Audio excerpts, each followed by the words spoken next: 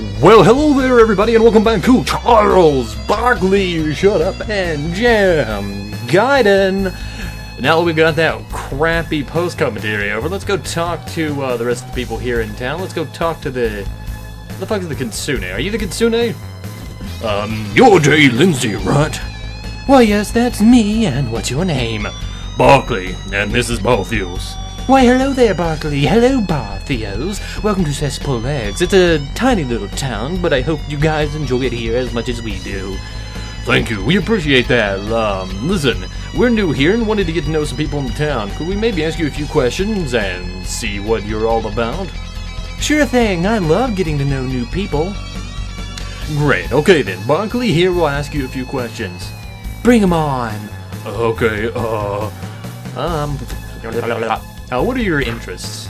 I think I'm interested in what most of my friends here are interested in animals. I love animals so much. As you can see, I even wanted to become one. That's how much I love animals.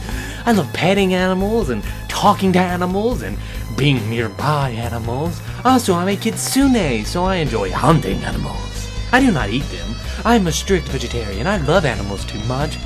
But I am a foxy, and what foxys love to do is hunt. So I like to find little animals and sneak up on them and pounce on them and wrestle with them and then let them go. I love animals so much, I even love hunting them. Nicely, though. Um, how would you describe yourself?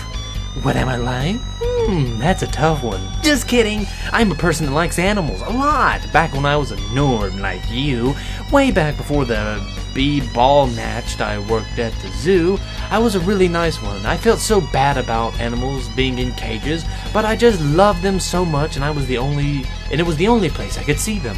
So in retrospect, I am definitely sorry about working there and perpetually that terrible industry of animal slavery, but I loved working there while I was working there because I love animals. I loved animals. I loved animals so much. I mean, they, they had me clean up the droppings of the cages because I was the only one there who loved animals enough to do that.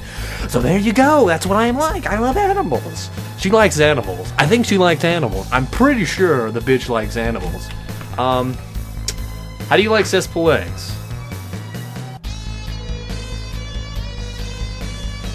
good. I, I was checking this to make sure there was nothing about I like liking animals in this one. So, um, how do I like cesspool eggs? I ain't reading this bit because this bitch is annoying. So we'll just skip through this. Like me down here, people like Frank and Zalatar and Chip, and like Eric, people that share my ideals and viewpoints and passions, and really, really good friends. And that is all. She likes animals. Thank you, Lindsay. You've been a great help. You're welcome. Helping is one of my just Kitsune's favorite things to do. I hope that's informative enough to write a halfway decent poem with. Let's retire elsewhere and compose this. Hurry up. Is that the fuck? Oh god, god damn it. Fucking piece of. Anyway, hurry up. You've been writing that for an hour. Patience, Barkley. Good art takes time. I might as well show you what I have, however. Here you are. Hark, I call upon the muse to grant me thus the ability of all great bards, that is, to use your gifts in poetry. O muse, grant me words as that I need to speak of such beauty as she. I am in bondage, aching to be free.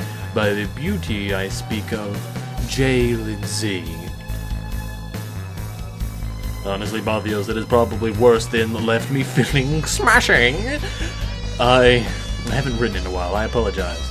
Don't worry, we can just fill in, fill it with that shit we learned she's into. She'll probably like it more than the other one. I hope so. Anyway, after this, we can have a few fragments I need some help with. I have the beginnings of some lines, but you need to make suggestions for the end. Data analysis complete. Oh, what do you want about, Vince? I have compiled the information gathered from Jay Lindsay, ready to assist in poem creation. You actually listen to us talk about that shit? Correct. Vince, can you step away for a moment? Affirmative. Barkley, I don't mean to put Vince down or anything, but. What now? He's a robot, Barkley. I don't think he knows anything about love.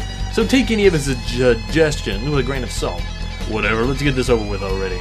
Alright, Vince, any suggestions you have are appreciated. Here's the first part. I ask that she envelops my fragile heart, and with her magic mend its cracks. I ask that we grow old never apart, and that she, and this is where I am stuck, so tell me what you like here. And that she enjoys hunting small animals. Um,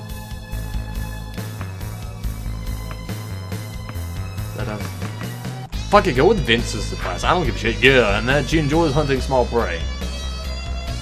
That doesn't really rhyme, but and do you remember that little talk we had earlier? Just do it. Okay then. Now after those first three stanzas, A B A B C D C D and E F E F, I will, as is fitting accordingly to the hallowed tradition of the post-cyber-apocalyptic sonnet, I shall include with uh, conclude with two couplets of G G and H H. I really don't give a goddamn about how your poetry works, but go ahead. Um, never before have I met one so fair, or who does not mind animal feces much. Yeah, that one's a little bit weird, Vince. I'm gonna have to decline that one. Live so freely, without a care. Foxes are somewhat free-spirited, I think. Maybe I don't really know anything about animals. I suppose that's a tolerable line. Okay, finally, this is the last line. More than wonders of the world, I love her. So she should be Duke and Earl, really? when she danced and twirled majestically flat. Fuck this. I'll just go with Vincent's advice. That doesn't even rhyme. So when she danced and twirled. When did she dance? Do you even know what you're writing? The tense changes halfway through the rhyme. This is embarrassing. I suppose we're finished. Are you happy with the way the poem is? We can start over and go through the lines again. Fuck that. That's fine, man. Um, if that's all, we should deliver this to Jay Lindsay now. I'll talk to that little thing here in a second. Okay, so stop mooing, Lindsay. Hi, it's you again. What brings you back? I was told to deliver this. It's a poem. It's from the snail. It's from Eric? Yeah, Eric, the snail. Read it. This? Hmm, this is... is something, I mean... It's long. He must have tried hard, maybe. Thanks, I guess. If you see him, could you tell him I said thank you to him? Should probably come by and say it myself sometime. He's a cute guy and all, but his poetry is really bewildering, sort of. I can't really imagine what was running through the writer's head. Anyway, thanks for bringing it by, guys. I'll ask him about it later. So it was that bad. Let's just get our reward and get out of here. Yeah, probably wasted a shit ton of time on that. She says thanks and then she'll come by later. She's coming by? Thank you so much, Barkley. Thank you so much, Barkley. This is really the best day of my life. The woman of my dreams is coming to talk to me, and she liked my poetry. Why did I ever doubt myself? Silly Eric. Anyway, here's your reward. As agreed, I hope it serves you well. 400 Neo Shackles, not worth the amount of time it took to do that. Thank you, Eric. I hope good fortune continues to bless you so. He's gonna fucking need it. Oh my god, is he gonna need it? Alright, what do we got in here? Fat ass piggy pig pig, what are you doing? Hello, travelers. Oh, that look on your face. You must be wondering why we have a full armory here in our village. While all of us endorse and encourage non-violent methods of dealing with conflicts, there are many above ground who do not share our views. Every few months, we'll get a raid from the surface. Usually, they don't cause us much trouble. A few rocks or bottles thrown, and maybe a few of us will go to bed with bruises. Every once in a while, however, their hatred will become too great, their attacks too violent. One's more on more than one occasion, these weapons we, you see, have saved our lives. It's regrettable that we must use them, and clearly against our principles.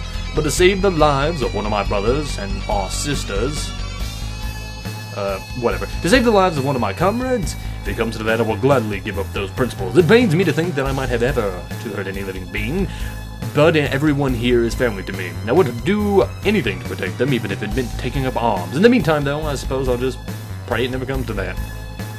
Why do I even talk to people? Weapons, huh? Oh god, he's dressed up like the fucking thing from Looney Tunes.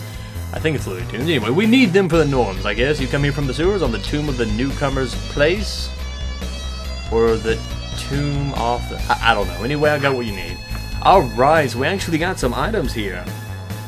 Bye. It doesn't actually have a price.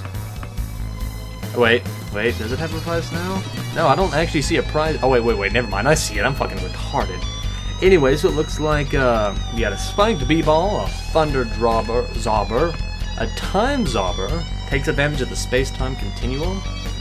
It's not really that expensive either. That's odd. Ace bandage provides compression. Ice it when you get home a sweatband, excellent sweat absorption, and uh, we'll actually come back here because I saw something about a dwarf, and considering that we'll probably be getting a cyber dwarf teammate soon, if that if that's it, then scram. I've got nothing else for you. Okay, but we're, we're gonna get another teammate soon, so we'll come back here when we have him.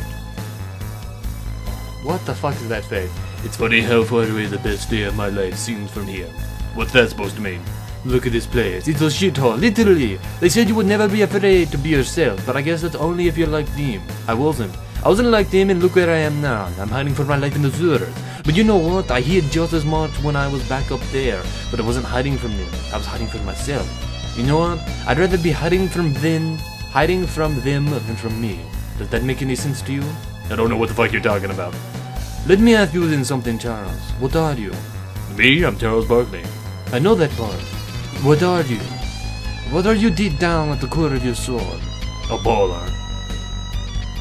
But when was the last time you played before? Back before the purge. That was 12 years ago, Charles. I guess you're not really a baller then. You shut the fuck up! You have no right to say that shit! That's my point though, down here I can always be who I really am, a turkey, and no one can stop me. Sure, I'm hiding from them, but I'm not hiding from myself. You? You're hiding from yourself. Every day you hear the gentle calling of that bumpity orange ball. You hear Spalding quietly begging you, Barkley, bounce me. But you don't. You don't because of him.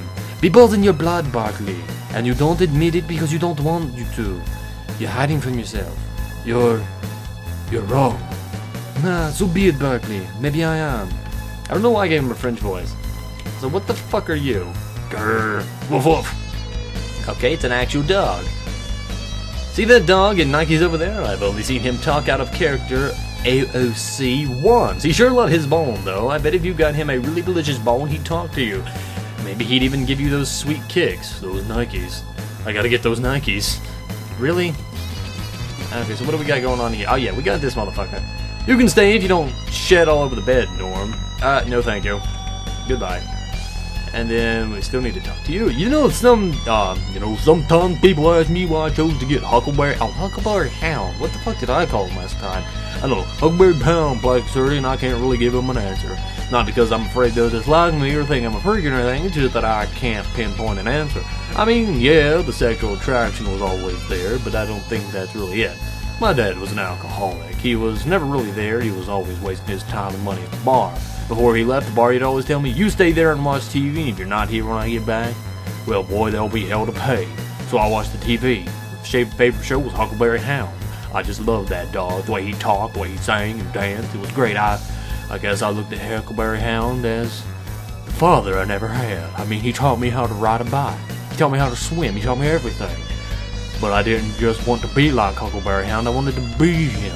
But here I am, Huckleberry Hound. That is me. This is who I was born to be. These fucking people are weird. Barkley, this is Cyber Dwarf's house. There's something I think I should tell you. Huh? What's the problem? The Cyber Dwarf. He doesn't look normal, Barkley. Don't stare at him. Huh? Sure, whatever. I won't stare. Okay. Okay, so that's the Cyber Dwarf's house, and that's probably the way out. Let's go in here first. What the flippity fuck are you? I've got what you need, man. Um. Alright, now hit the road. Yep, okay, I think we're pretty much done here. Let's go talk to the uh, dwarf. Hold on, that thing's in the way. Barkley, I've been waiting for you. Cy Cyber Dwarf? Yes, that is I. I. Barkley! You're looking at my face, aren't you?